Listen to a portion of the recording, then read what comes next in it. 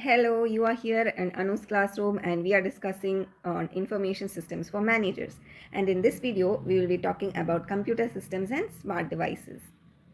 By the end of this video, you I hope that you will be able to understand or learn about what are the components of a computer, what a central processing unit is, what are storage devices, input output devices, which we nickname them as IO devices, networking devices, plug and play devices, smart devices, asynchronous and synchronous communication, and various other types of computers.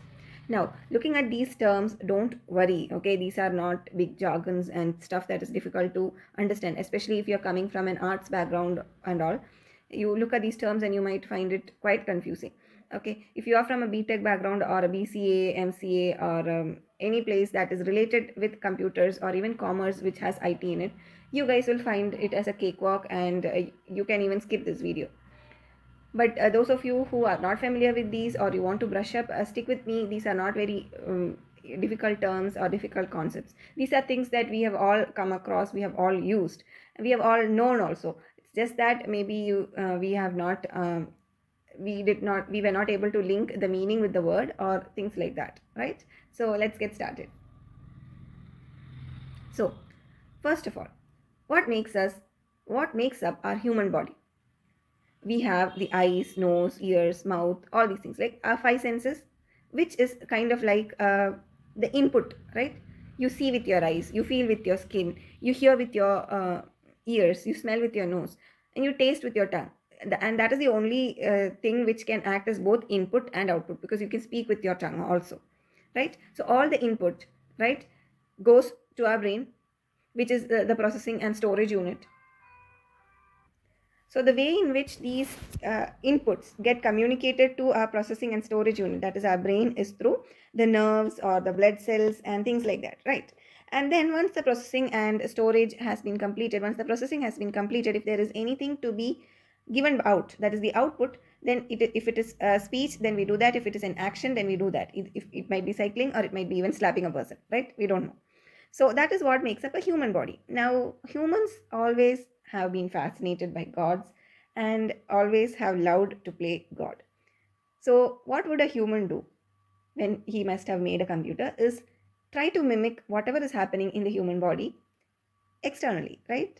So, all this input, all the processing and storage, all this communication, all this outputting, all these things he has made or she has made, humans have made into tried to do that using um, the metals and stuff like that that is available to him in this world right? So that is computer. So what makes up a computer now you will be easily able to understand. You have input devices which could be your keyboard your touch screens your mouse right? Which will go to a cpu okay the cpu will process for storage. We have storage devices. It could be your hard disk your ram your rom your usb your external hard disk your google drive. All these things have storage. Now for communication, there are uh, you might have seen all those different cables, colorful cables that go hither and thither uh, from your power socket to your uh, computer, inside your computer also, from your monitor to your speaker, uh, sorry, from your um, CPU to your speaker, uh, CPU to your keyboard or um, external monitors and stuff like that, all those cables. And internally, we call them buses. And then you have output devices. It could be a speaker it could be a monitor it could be anything like that. Wherever you can see an output. It could be your printer um, things like that. Scanner is input. Printer is output. Okay. So simple. Now you have uh, just think about yourself your human body and think about what uh, is it uh, uh the external computing stuff that uh, is trying to mimic that. That is what makes the computer. Simple enough. So the central processing unit. Uh, since this has uh, this is nicknamed the brain of the computer and this thing uh, has this big job of trying to mimic our brain also. So um, it has a little bit more i mean it, this is has a little bit more number of units or functions to be done so it, it acts as a control unit to control all the other devices right? Just like how our brain controls our hand our fingers our uh, eyes and everything uh, the cpu also acts as a control unit. It has its own storage also. A little small storage is there okay? We call them as registers. The large data gets stored outside in the external storage devices but inside like for example if i have to add 1 plus 2 somewhere intermediate i have to store right? Small small bits of data small small things like um what you can say the immediate past or uh, just next what it has to do like that small small storage uh, uh, what you can say requirements get fulfilled by the storage which we call it as registers which are inbuilt into the cpu then we have the arithmetic and logical unit which acts as your left and right brain functions okay? Uh, i don't remember which one was uh, which side of your brain is for arithmetic and which side was for logic and all and or creativity maybe it is left or right one of them okay? So that kind of a unit is also there which will help the cpu that is the central processing unit to um, successfully complete these arithmetic uh, or logical requirements. So that is the division of the central processing unit then we have storage devices right where uh, it could be a floppy it could be a ram rom uh, floppy is a thing of the past. It was when i was in school we used to use floppies at that time. Um, quickly it became cds and all at that time. But at that uh, but uh, economically since i was a middle class person floppies even floppies were a little bit above our um, affordability at that time to be honest okay so we have a lot many storage devices. You might you can think of many starting from your usb sticks or your hard disk. Uh, then you have a concept called ram which is volatile memory okay? And we have rom which is uh, not volatile. So ram uh, whatever things like whatever tabs you have open in your desktop they get stored in the ram. And once you shut down your pc almost all of it goes right? Once you open restart your pc the things that go right and your pc starts afresh. Those things were stored in your volatile memory. That is why it went. Then we have non-volatile memory. So how these things actually work is using uh, transistors resistors capacitors and things like that uh, you know uh, vlsi devices and things solid state devices and all. That is far far far uh, beyond the uh, scope of information systems for managers okay? You don't have to worry about which capacitor is used or which resistor is used but uh, people from btech background would uh, definitely understand how this memory is volatile and non-volatile. And such people need not even look into this video also because they might know already. This will be this subject itself will be a cakewalk for them. Then yeah so as we were saying main memory we have ram and rom okay ram is random access memory rom is read only memory. We have sdram and dram same way we have in rom we have eprom and prom okay? So dram is dynamic random access memory and sdram is synchronous dynamic random access memory so DRAM or this dynamic random access memory is the most common kind of RAM and uh, the data is stored in the cell of transistors and capacitors and this data has to be refreshed every few milliseconds also. Then also we have SRAM which is static random access memory which does not require a periodic refresh. It is faster than DRAM but it is more expensive. Then we have synchronous uh, DRAM which is used mainly used these days okay which has uh, in fact it has uh, even double the capacity of our uh, DRAMs then we have read-only memory. Okay, that is uh, non-volatile. Contents will not be lost when the power is switched off. Okay, so that is where your boot programs and things like that will get stored so that it will not be lost anytime uh, due to any failure. And if your boot is gone, then most probably they'll say that your ROM, uh, hard disk has to be changed. Means it is your ROM needs to be changed. Okay, there, there we have programmable read-only memory that is PROM, and then we have EPROM okay which is erasable programmable read-only memory. So this EPROM can be erased and programmed multiple times whereas PROM can only be programmed once. So that is the main memory. Then we have secondary memory also. Okay um, secondary memory is your uh, um, external hard disks and the CDs and things like that then coming to input output devices, input devices could be your keying devices like your keyboards and all cameras, barcode scanners, pointing devices, voice recognizers, all those things are examples of input devices. Output devices could be your monitors, printers, audio devices, video devices, projectors, external monitors, things like that. So what exactly is networking? Networking is a group of computers, printers or other devices which are connected together with or without cables. Earlier it used to be with cables but then after the advent of Wi-Fi and things like that, now networks are even without cables. Users can exchange data across these connected devices and each device in this particular network will be called a node or point. Okay, We call them a node. Okay, um, You can think of them as points. We can arrange these so-called nodes or points that is computers in um, various ways okay So think of it as your kolam or Rangoli dots, right? You, if you are from Tamil Nadu, definitely you will know, or if you're from the north, also you'll know. People, uh, girls, we first put many many dots, and then we, so those dots are uh, representative of many many computers. Then we link those dots through uh, lines. They are your connections, and once you link them up, it becomes your network. That's it. Simple, easy. Networks are named according to how these nodes are arranged within it and how they are connected. Devices that help connect these nodes okay are called networking devices. So it's not just only cables. You will find out later that not just um, cables are not just enough. What if uh, i have only one printer and i need five people to share? We will also require a router and things like that so a quick reminder um, in case you have not yet subscribed please subscribe and hit the notification icon. If you're liking this video give me a thumbs up. If you don't then give me a thumbs down. And all these things will help me serve people like you better. So coming back to networking, as we said earlier, the way in which how the nodes get connected is uh, what determines what your network will be called. And that is called as network topology. Okay network topology is nothing but a reference to how our network is wired together so if i am connecting it like this then it is it looks like a ring it is called a ring topology this is reminiscent of a star, so it is called a star topology. We can combine these, uh, okay, we'll come to the hybrid one a little later. If it is like this, okay, in a linear fashion, it is called a bus. And if it is branching out like this, it is called a tree. Now, if you combine any one, any more than one of these topologies, we call it a hybrid topology.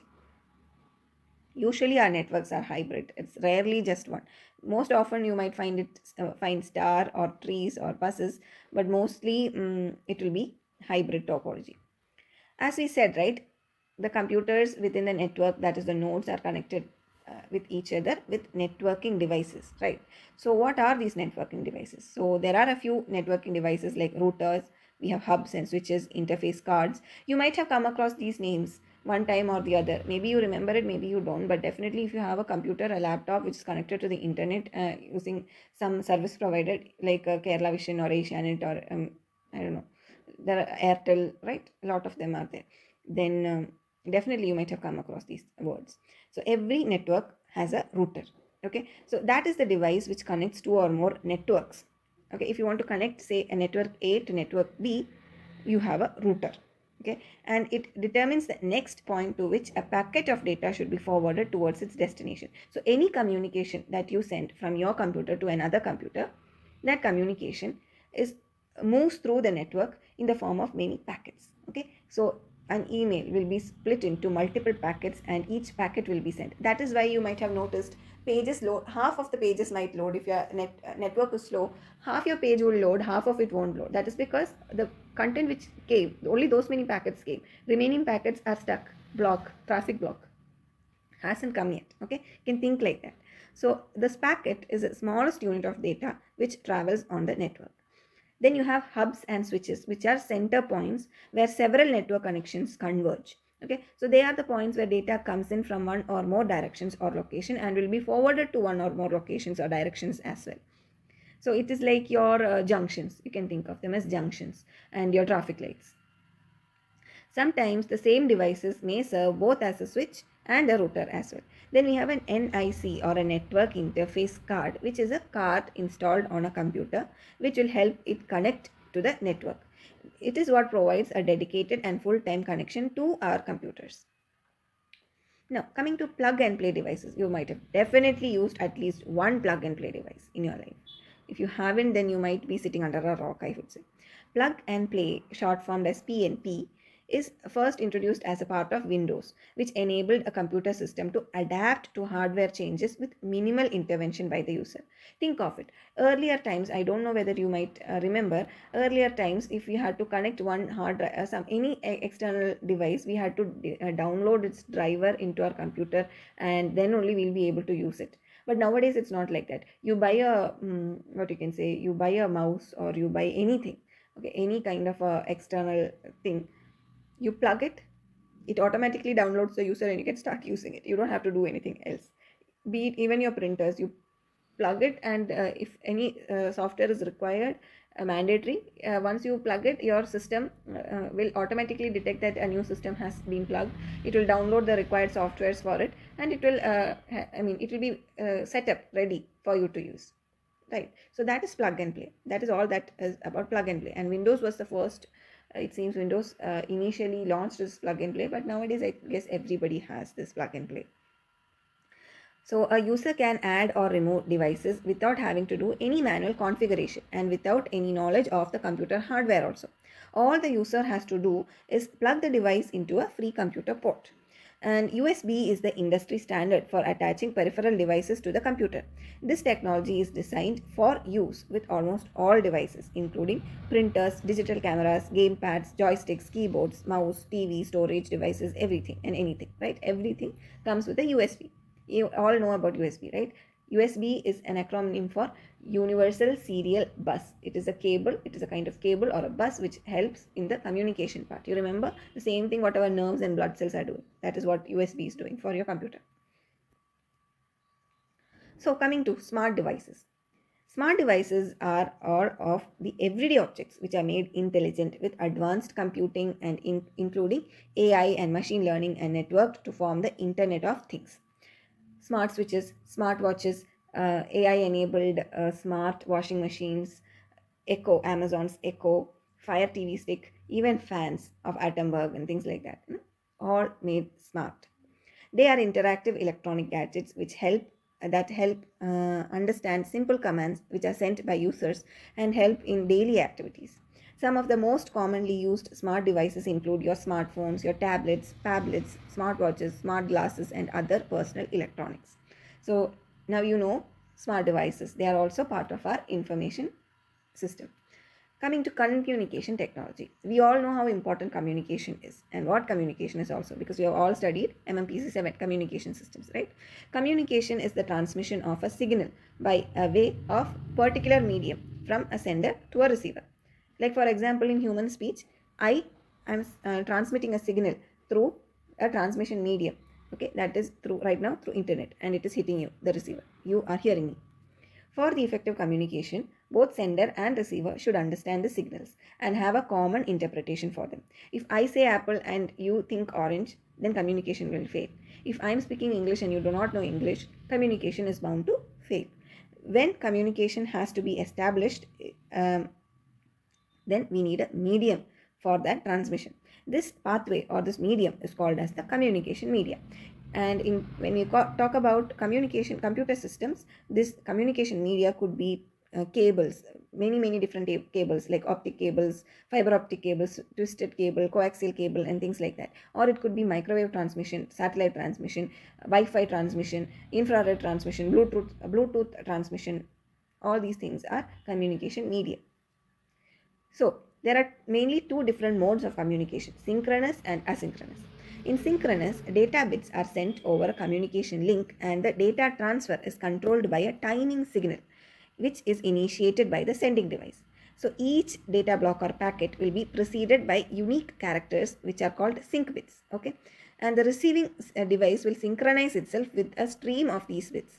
Synchronous transmission is generally used for transmitting large volume of data at very high speed. You, so you think of it, it's like uh, you uh, will clock. So you remember the Morse code and uh, things like that, right? Sometimes you might, uh, when you guys may, might have been playing, okay, in your childhood, uh, uh, some people would be there to keep a lookout for your elders. If they are coming, then you'll give a particular signal at a particular frequency, like maybe three rings of your phone okay three ring missed call means that it is something it means something. Two rings means it means something. Things like that we have all done right? So those kind of things are reminiscent of your synchronous communication where the communication is timed actually. So it's like three rings at these many intervals means this or something else means like the church bell okay? If it is rung in a particular frequency then you might think about uh, it might communicate some meaning to you so those are examples of synchronous communication, which is synchronous because it is timed. Okay. Then we have asynchronous communication where one character will be transmitted or received at a time. So you send one packet, after some amount of time you might send another packet, right? So each character may be preceded by a start bit and ended with an end bit. So you get one uh, packet and then after some time you'll get one more packet so think of it as like your IGNOU's book distribution okay material distribution you might get one uh, um, on one fine day you might get uh, receive a set of three books and then maybe the next month you might receive the next set of books. So how do we know about it? How do we know how can we link both those sets of books to IGNOU? Because uh, because of uh, what you can say because it has been originated from IGNOU because uh, uh you have enrolled for IGNOU and because there are seven books and you only got three so you're bound to get four more. So with all those things right? So that is how asynchronous communication works. It is not timed but it is rather sequenced using some other ways so naturally it is inefficient because of this overhead okay and it is generally used for low speed data transmission uh, coming to the directions of data communication, we all know about radios, TVs, then telephones, and things like that, right? Uh, and walkie talkies that uh, police officers use. So, a simplex communication is a, a, type of communication where data transmission takes place only in one direction, like the radios and televisions. Half duplex is a transmission which takes place in both directions, but only in one direction at a time. Like you might have heard, right? Uh, command to control over over and then yeah control to command right so they uh, they say that you're starting the communication and then they end once the communication is over they say over and once the receiver hears the word over and if he has to say send something then he says start right so like walkie talkies they are half duplex. Then we have full duplex where both directions we can communicate simultaneously. Think of our telephones right? You say i say we all can say together. Then coming to types of communicate computers we have mainframe computers we have mini computers we have workstations personal computers which is what most of us be using network computers as well. So these are a few types of computers. Mainframes are generally used for large scale processing like your banks and things sbi um, big banks they might be using mainframes. Okay they are servers which uh, which can hold high amount of data and process large amounts of data as well. Workstations are their personal computers we all know. Network computers are for networking naturally. So that was it for this video. I hope you understood about communication systems and smart devices. Hope you where i was able to break the ice to you. And i hope to see you all in the next video as well. Bye bye